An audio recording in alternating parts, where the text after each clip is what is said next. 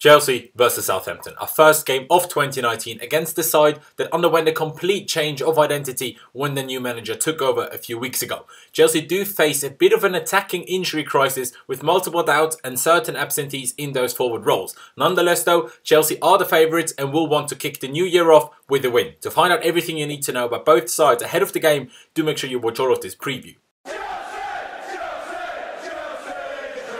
Hello there guys and welcome back to 100% Chelsea. And first of all, I want to wish you all a very very happy new year. I hope you had a great evening and a great night.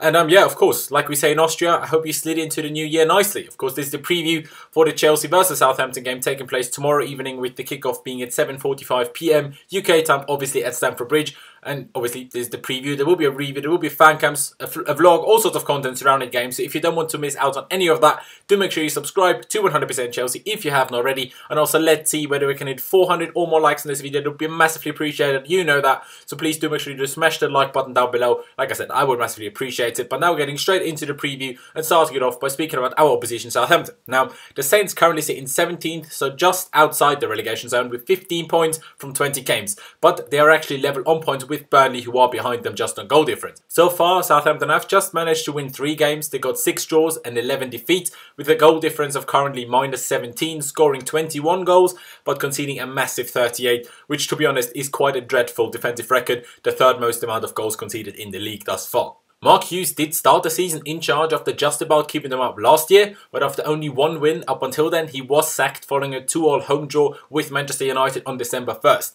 I mean, even if they were 2-0 up, sacking your manager when you're Southampton after a draw against Manchester United, to me, is still a bit weird. Anyway, they did sack him. They then had a caretaker manager in charge for the defeat against Tottenham, but following that, they did appoint the Austrian manager Ralf Hasenhüttl, formerly in charge of RB Leipzig and also Ingolstadt, both in Germany. Now, in my in my eyes, he's a very, very good manager, getting exceptional results in the past. And um, he also likes to play very quick, a very quick brand of football, you know, with very intense pressing when his team does do what he wants them to do. His first game in charge, they did lose 1-0 in Cardiff, but then they had two wins in a row against Arsenal, you know, most importantly, and also Huddersfield, only their second and third wins of the season, before then losing to West Ham and Manchester City in the last two games. But at least, I guess, they scored in both of those defeats, because before Hasenhüttl took over, they really didn't score many goals at all. I mean, they scored, what was it now, I think eight goals ever since he took over, so, you know, that's in five games, not all that bad, considering where they are in the league. Before then, they, they barely ever scored goals. Like, in four of his five games, you know, in charge, Austrian went with a 3-4-3 formation, but against Manchester City on Sunday, they actually started with some sort of 4-3-3 or 4-3-2-1, if you will. So, um, you know, he didn't do so against Arsenal, so it will be interesting to see whether he plans to change to kind of a 4-3-3 permanently now, or whether that was just a one-off against Manchester City and he will go back to the 3-4-3 against us tomorrow. We'll just have to wait and see. The Saints also do have a few injury doubts in person of hero of Munich Ryan Bertrand, the other fullback Cedric Soares, as well as forward Michael Obafemi, however you pronounce his name, while midfielder Højbjerg um, a very important player for them in midfield is suspended after getting sent off in their last game against Man City. Nonetheless, though, Southampton do still have some very dangerous players. In particular, at the moment, Danny Ings, who's on seven goals this season, which definitely isn't bad. But three of those, you know, seven have come in the last four games under the new manager. So, you know, definitely pr pretty potent striker these days. But also James Ward-Prowse, for example, with his ridiculous crossing and deliveries, plus the likes of Nathan Redmond as well, and also um, Ryan Bertrand, if he is fit to play, is always a bit of a threat, even from left back. So they do still have dangerous players. But, you know, the main thing is just that they're a completely different team under Hasenhüttl than they were before. You know, when we last played them, we beat them 3-0, obviously, um, at St Mary's. And especially the win against Arsenal was remarkable, but still their defeat to West Ham and then the fact that while City didn't find it easy, even in a bit of a nervy period for City, they ended up beating, you know, Southampton pretty comfortably. It wasn't, like I said, not straightforward, but it was pretty comfortable in the end. And that certainly does suggest to me that we should very much so be able to beat them tomorrow. I still, though, see every game against the Hasenhüttl team as a very difficult game. I have to be honest, though. I'm quite happy that we have to play them now under him rather than, say, in April or something, because I think they'll be a much, much better team than they are right now. With that being it about Southampton, usually we would speak about the press conference, but as it is New Year's Day, it seems there is no press conferences on New Year's Day because there was no press conference today. There was a tiny fraction kind of of the post-match press conference after Palace there was about today, but nothing really came out that we that wasn't already discussed, you know, before, or you know, that wasn't already discussed in the, just the post-match press conference after Palace. So there is no major news other than team news and obviously injury, but obviously that you know I'm going to talk you through with the lineup for Chelsea now. So you know, just no news from a press conference by Sarri. But getting into Chelsea, and like I just said you know, team news, injury news, we do at the moment face some sort of injury crisis, you could say. I mean, not overall as a squad maybe, but because all of the injured players are attacking players, it is kind of an injury crisis because, you know, we kind of struggled for options in that area of the pitch. Obviously, Olivier Giroud is out, leaving the ground on crutches on Sunday after obviously injuring his ankle against Palace. Pedro is almost, you know, also certainly still out with this hamstring problem. Sarri obviously said, you know, a couple of days ago that he would be out for, say, at least 10 days. So, you know, he won't be fit tomorrow. Cesc Fabregas is also a doubt after, you know, missing the Palace game with a neck injury. And the same goes for Ruben Loftus-Cheek with the back problem and obviously Callum Hudson-Odoi with that hamstring issue sustained in the Watford game. Who, by the way, about Callum Hudson-Odoi, Sky Sports, you know, according to Sky Sports, we have rejected a 20 plus million pounds offer for made by Bayern Munich, which is obviously good news. You know, we're not selling him. Hopefully we're not selling him. Let's not sell him. Otherwise, I'll go bloody ballistic. We're not selling Callum Hudson-Odoi. Cal? Callum? You're not going anywhere. You're staying. You're signing that new deal, whether you like it or not. It has to happen. You know, otherwise I'll be very upset.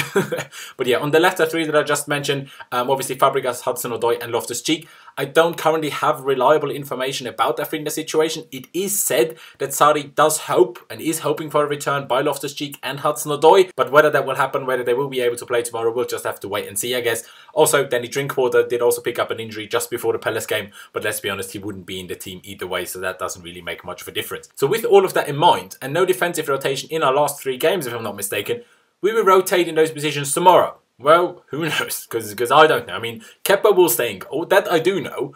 And there is, I guess, a small chance of Andreas Christensen possibly replacing either Antonio Rudiger or more likely David Luiz, simply because, you know, David Luiz is the older of the two.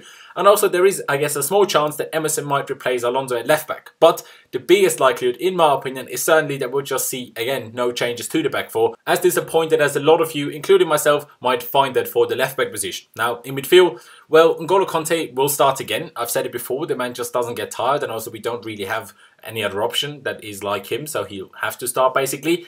And um, next to him, I'm pretty sure Jorginho is kind of forced to start with the injury, obviously, to Fabregas. Even though the Spaniard, I guess, might make the bench in case he does recover, but even then, I very much doubt that he'll start. And then that third midfielder spot, in my opinion, will be taken by Mateo Kovacic, who was obviously rested against Palace and only came on for the last couple of minutes. But then coming to the front three is where it gets tricky. Like I said, you know, basically all of the injuries except Fabregas and I suppose Drinkwater um, you know, are within the attacking players. Obviously, Loftus-Cheek is also a midfielder, but has played as part of that front three before, and possibly would be an option for that tomorrow.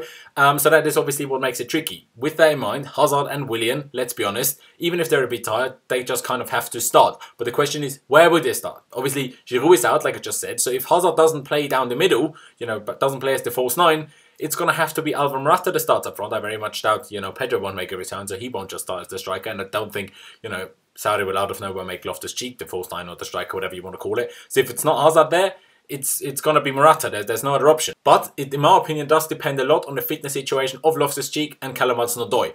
Now, if only Hudson-Odoi is fit, I think Morata might still start and Callum Hudson-Odoi might make the bench and then we might change it throughout the game and put Hazard up front as the game goes on.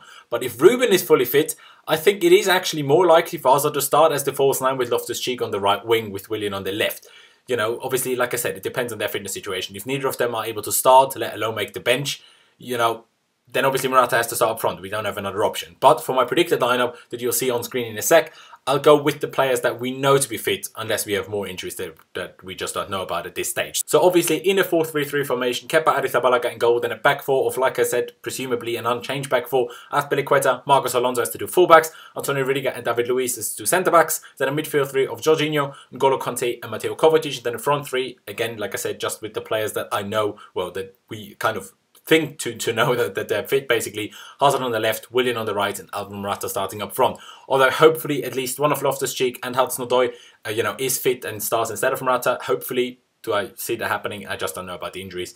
Um, but, you know, that's not even because I dislike Morata that much. It's for me simply because I want Hazard to play down the middle because I think that's where he poses the biggest threat to our opponents and, you know, is most influential for us, at least in my opinion. But generally, the game will just be very interesting, especially how much and how hard Southampton will press. Now, they did press pretty hard against Man City and also, you know, did put them under quite a bit of danger with their pressing. So you can only expect them to do so again against us tomorrow, which will make quick passing and top-notch movement off the ball so crucial, you know, obviously by Chelsea tomorrow.